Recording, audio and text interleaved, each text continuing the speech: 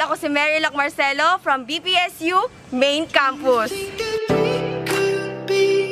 together. Cause I see you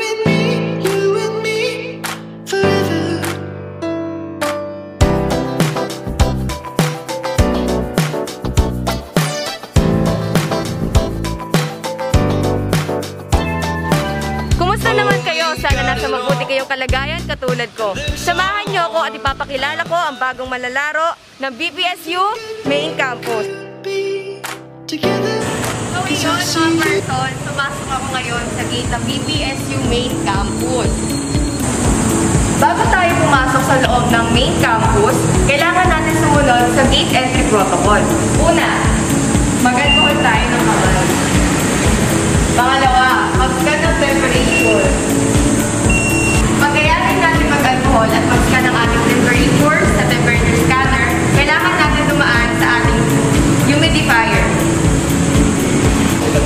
Kailangan natin mag-email ng data sa ating student logbook para sa ating contact tracing.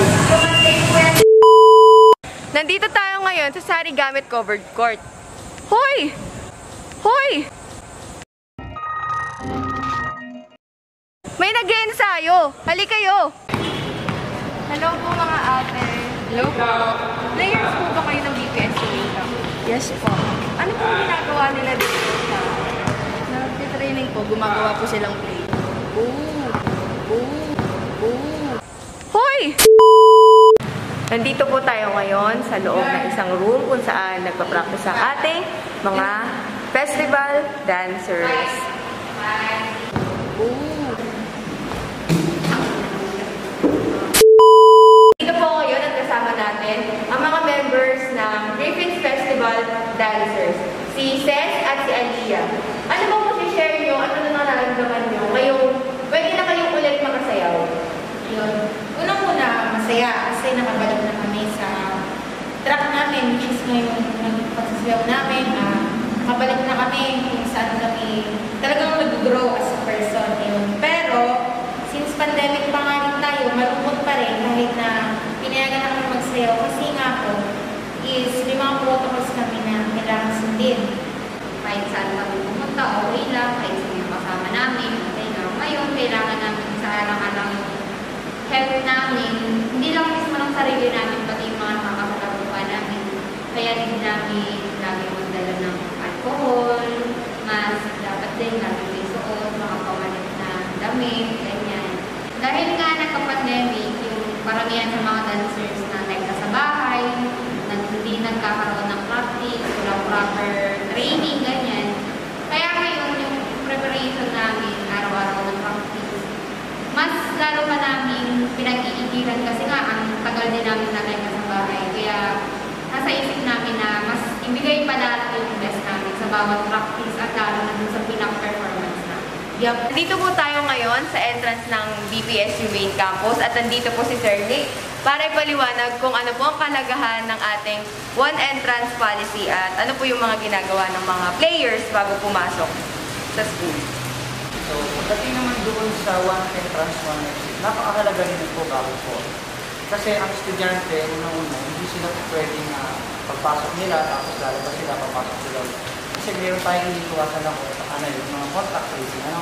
Kasi pagpasok nila rito, so dumaan sila sa procedure, kinuha namin pangalan, temperature, yung pag-out nila, importante dapat humingi sila sa kalit. Kung lalabas sila, magagala pa sila sa labas, kung lalabas sila, magagala pa sila sa labas, so maaaring maka sadap sila ng mga viruses. Yun ang iniiwasan natin ano, ah, para hindi tayo bumalik sa na procedure. So, kinakailangan natin gawin para na rin na mas ma-protektahan natin yung iba pang mga student. Maraming salamat po, Sir Nick. Mag-attendance na po ako. Nandito po tayo ngayon sa guardhouse ng ating North Gate at kasama po natin si Sir Ray at si Sir Wilson para ipaliwanag kung ano po ang kalagahan sa mga players ng only exit policy. Sir Ray, Sir Wilson, ano po bang kahalagahan ng exit way po sa ating mga players? Kung sila lalabas dito, ma'am, Nakapila po sila yan. Nag- Nag-out po sila dito. Lalagyan. Maglalag up din po sila dito. For safety nila naman. Kasi ito po, tinitignan po ng mga kasama namin sa ano sa office na kung talagang katunayan, nandito po sila. Sa school po. Napakagaling naman talaga ng ating mga guards at sinisafety nila na kung talaga bang nandito ang ating mga players sa school.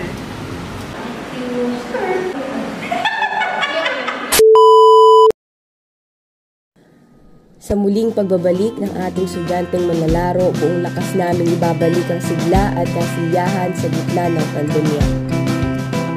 Mapamay games gaya ng chess, baliyahan ng bola mula sa basketball and volleyball, palinawan ng mata sa darts at pabilisan ng kampay ng kamay, kasabay ng paa at katawan sa swimming, lahat yan ay mabibigyan ng bagong lakas at maibabalik ang naitagong sigla ng BPSU Main Campus Griffins.